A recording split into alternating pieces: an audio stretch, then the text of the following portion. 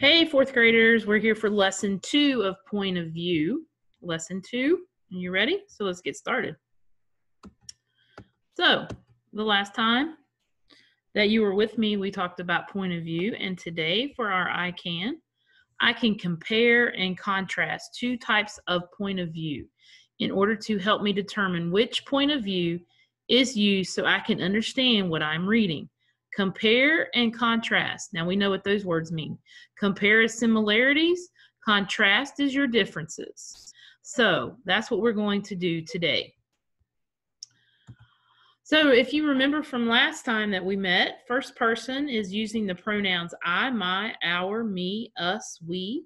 And third person is he, she, they, their, her, him, and them. Those are the pronouns that you would use for third person.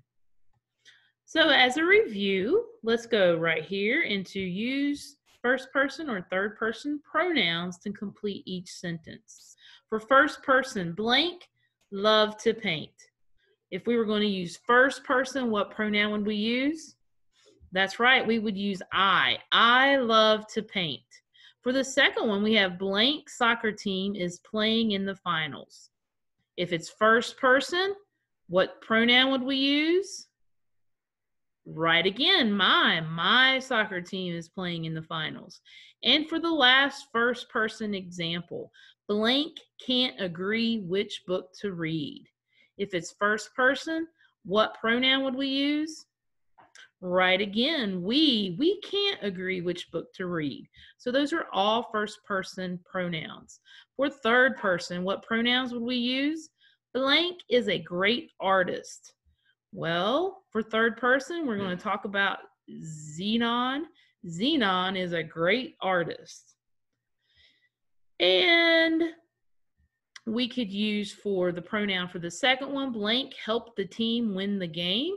He helped the team win the game. Or she helped the team win the game. And the last one for third person pronoun, blank are reading about vampires. They they are reading about vampires. Good job on your review. Here's another one. As I walked up the hill, I realized that it was just too quiet. There was no sound from the bird who was almost always singing from the top of the maple tree.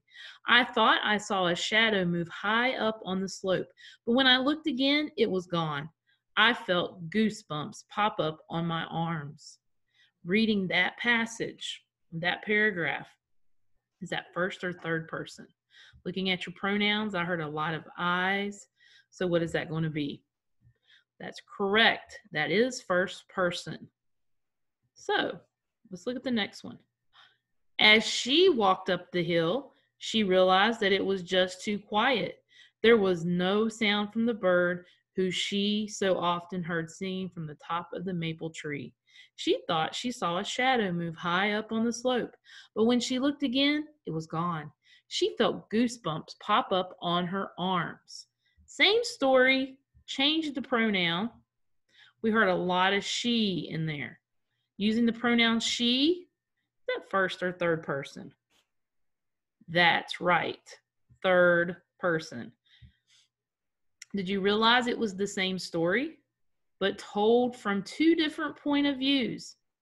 In this story, if I can get it, I I walked up the hill. I realized. Now that's me personally. So that is a story that might give me more of a feeling of being scared because it's happening to me. I might use words to make you believe that I was scared. And in the next it's the same type of paragraph, the same context, but we just used the pronoun she.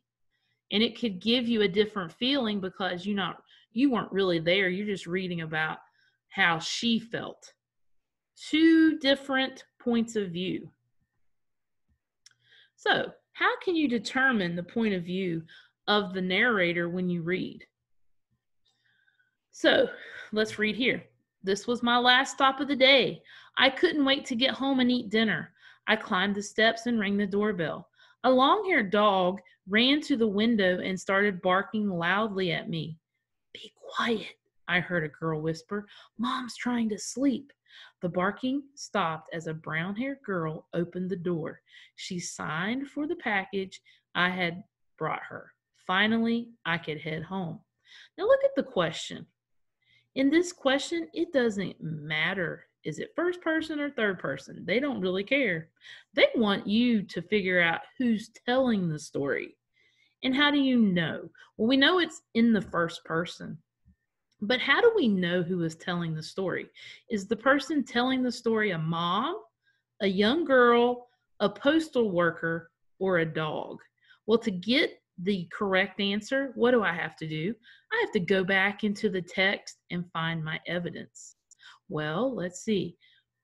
Do postal workers make stops during the day? Yes. Um, do they usually sometimes have packages you might have to sign for? Yes. Huh. So I wonder if the person telling the story is a postal worker. What do you all think? Oh, good. I heard some of you say a postal worker. You are correct. Good job. Now let's go to the next one. I was lying on the couch trying to sleep when I heard the doorbell ring. I rushed to the door, looked out the window, and started barking at the woman at the door. Be quiet, Mom's trying to sleep, my owner whispered loudly to me. I headed back to the couch as the door was opened. Same story, a different point of view. Still written in first person, but whose point of view is this coming from? Is it the mom's point of view? A young girl's point of view? We already know it's not a postal worker because it was already chosen before. Or a dog? Well, let's go back into the text. Well, lying on the couch. Well, a mom and a girl and a dog could do that. Started barking. Oh, maybe there's a clue. Which one of those barks? A dog? My owner whispered loudly. Oh, yep. I think I know. Do you know what it is? Who's telling the story? That's right. This is the point of view from the dog. Same story. Makes you feel a little different, though, doesn't it? Me too. Last one. Ding dong. I opened my eyes, wondering if I should go get the door or try to go back to sleep. Just as I had decided to try to sleep, Fido started barking loudly. Ugh, I groaned as I climbed out of bed. I headed for the front door just in time to see my daughter taking a package out of the postal worker's hands. Well, who is telling this story? Well, we already know it's not the dog because the dog's name is Fido. It's not the dog. It's not coming from that point of view of the dog. Postal worker.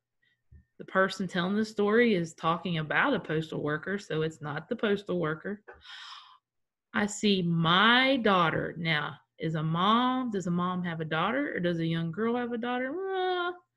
I don't think it's the young girl. Who do you think it is? It's right, mom.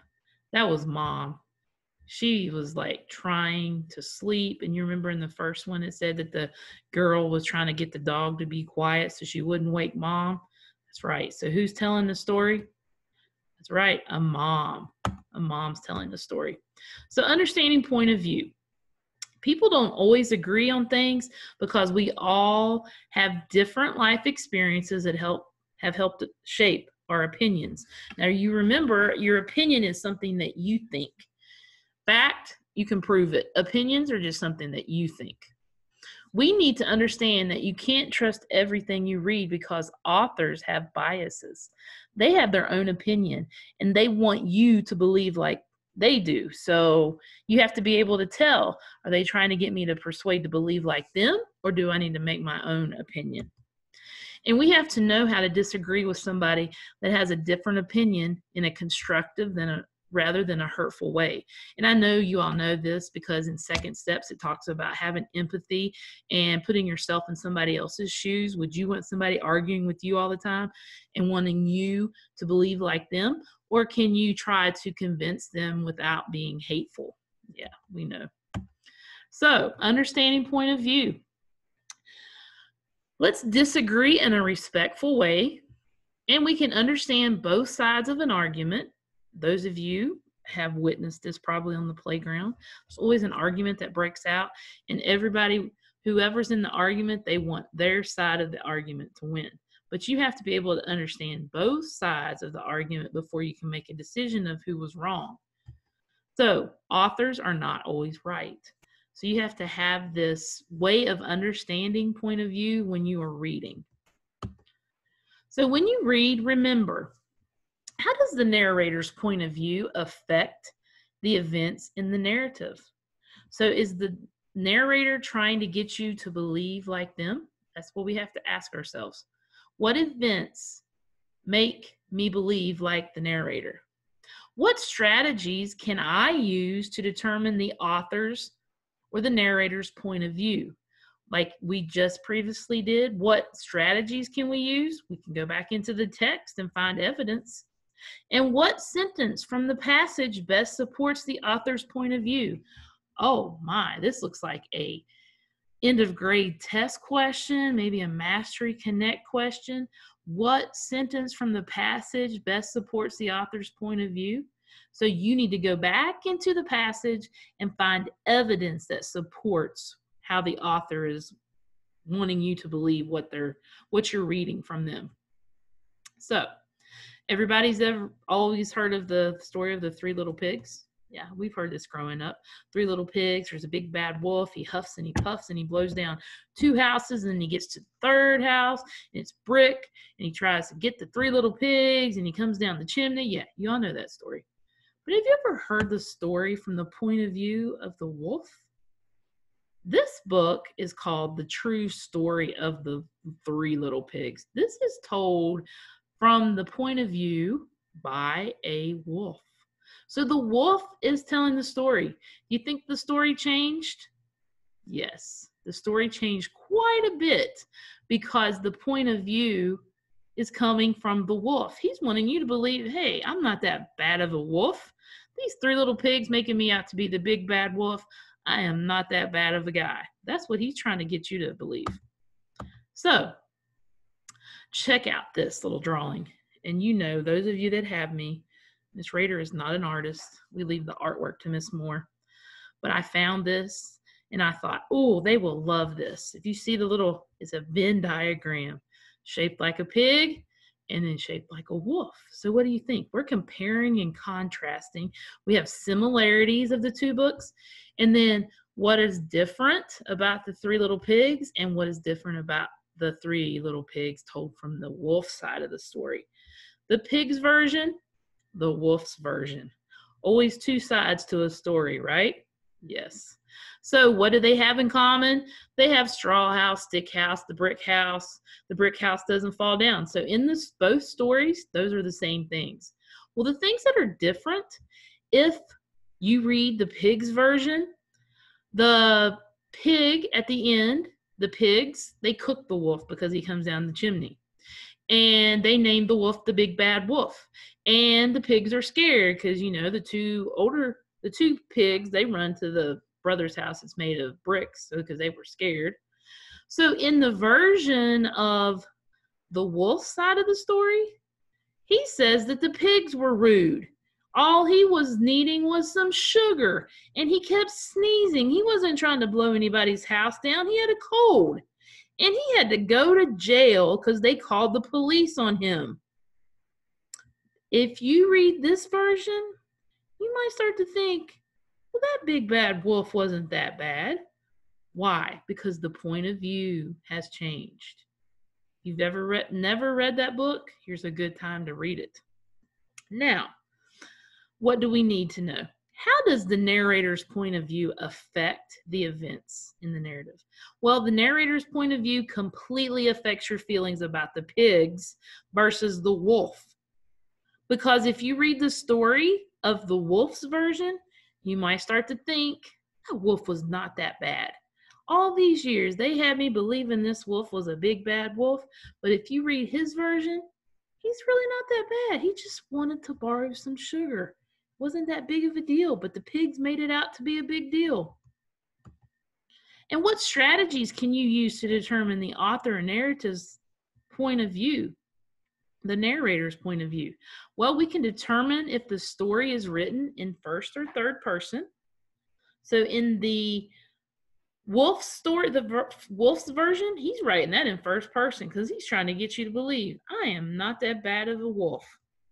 And you need to pay attention, the strategies that you can use, pay attention to the words the narrator uses. Do the words persuade you to believe like them?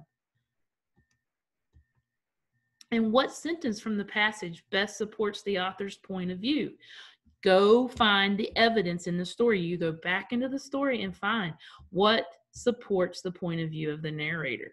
And in that wolf story, the wolf's version, when the wolf says, I was just wanting to borrow some sugar, you start to, like I said, you start to believe like maybe that wolf wasn't such a big, bad wolf. He just got a bad reputation from those three little pigs.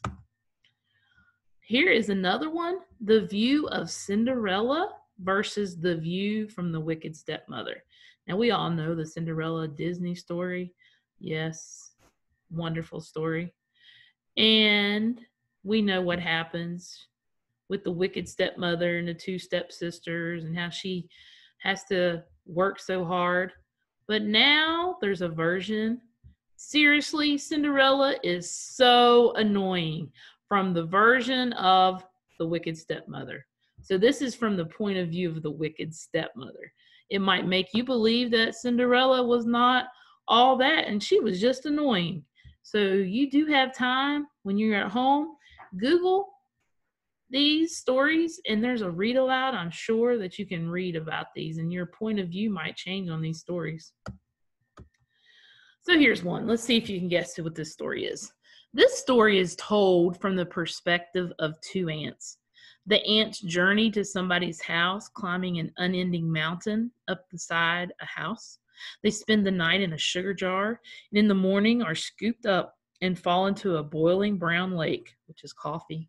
The adventure continues until the ants eventually make it back home.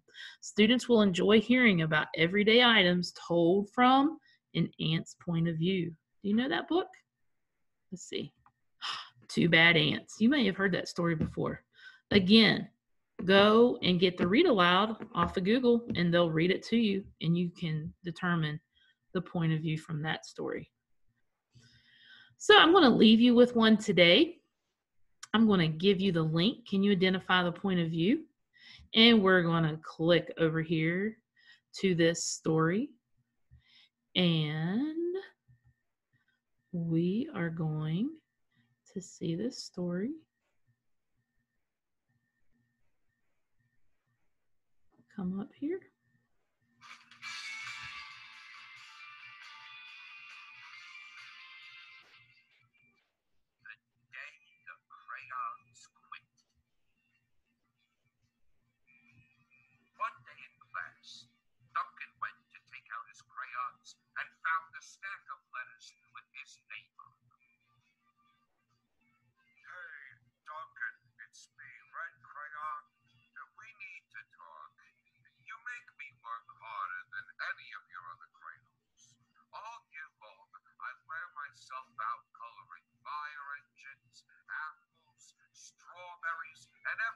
house that's red.